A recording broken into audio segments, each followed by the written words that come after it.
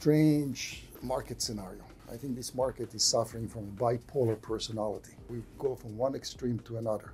The market was indicating in the beginning higher interest rates at a faster pace. That was about a week ago. And that indicated expansion, inflation in the market. And we went from that scenario to what the market was wishing for lower interest rates at a lower pace, which indicates a slowdown. So we went from one extreme of inflation to another extreme of some sort of a slowdown, but it was according to the wishes of the people in the marketplace. It's never inflationary nor too much of a slowdown, it's somewhere in between. What I did want to speak to you guys is about something interesting that I read over the weekend, and that is the subscription model. Companies that were able to engineer and move towards a subscription model so their multiples expand. Let's take two examples. Let's take Microsoft and Apple.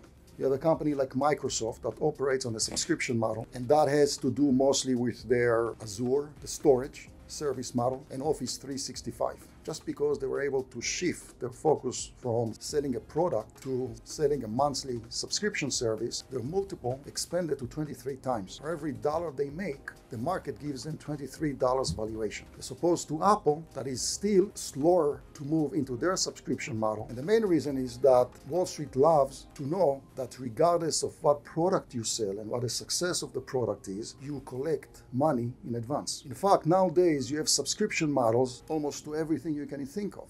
You have a subscription model to software, to TV services, to food, to clothes. So the world is absolutely transitioning to a subscription model. In fact, there is one company that already did that, and that's Adobe Systems. When they actually launched their Photoshop on a subscription model back in 2011, not that many investors gave them any credit for that, but the reality is 90% of their business is a subscription model based. You pay $10 to $50 per month. And their multiple expanded to north of 30 times from about 10. And the stock went up almost 800%. So just imagine what happens when you are able to shift to a subscription model where you are actually able to charge in advance and you don't live or die on a single product. Netflix, in spite of them selling at 60 times earnings, were able to do that. And the reason people are willing to give them 66 times earnings, most likely, is because regardless of the success of any of their programming content, you keep paying for the subscription. So it's good for everybody.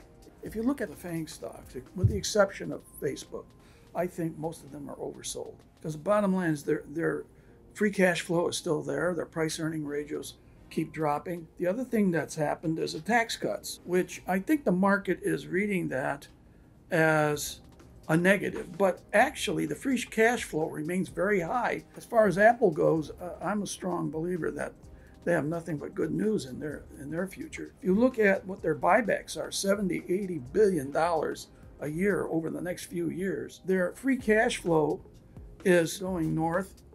They're at 60 billion. I think in five years they'll be double that. And if you look at their subscription services at 37 billion, at 24% increase, that means that it's going to double in three years, which will surpass all records in terms of the number of phones that they sold, in terms of the revenues that they generated because of that. All right, I want to talk a little bit about uh, Altria, big tobacco company. And they own Marlboro, Parliament, Benson and Hedges. They have about 55% of the US market share. And last week they jumped into the cannabis space, investing $1.8 billion into a Canadian company, Cronos. Obviously, Big Tobacco is facing declining revenues year over year right now. They jumped into the vaping space a couple years ago, and there's been a lot of federal pressure. They develop the products in these um, fruity flavors. So it's been very appealing to the young teens, and the federal government has been clamping down and asking them what they're what these companies are going to do. Altria has pulled those products off of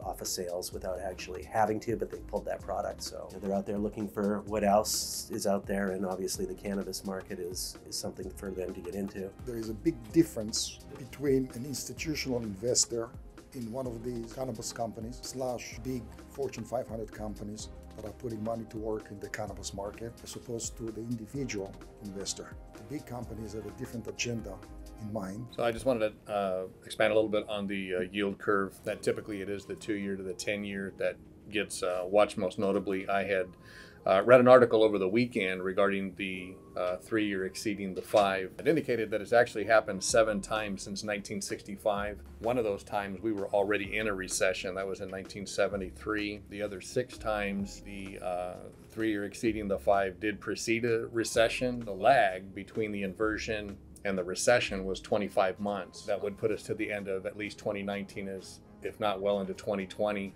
uh, before recession would hit. And the S&P during that average 25 month span was up over 20%. The yield curve is flattened between the, the two and the 10, so something we should ought to watch. Historically, markets peak six months before the recession starts. The big question is when the recession is going to hit. That is a very, very difficult task to try and predict. Everybody, and thank you again for watching our videos. I'm Amit Stavinsky, the Managing Director of Tamar Securities and its affiliates, 911 Financial Services and Firefighters United. If you like our videos, please subscribe to our YouTube channel or check us out at our website, tamarsecurities.com. You can also call us directly to our main offices in Woodland Hills at 818-914-7461. The highlight of the week is that financial markets tend to move from one extreme to another. It is a struggle between too much growth to a slowdown. Please remember, it's never really one thing or the other. It's somewhere in between.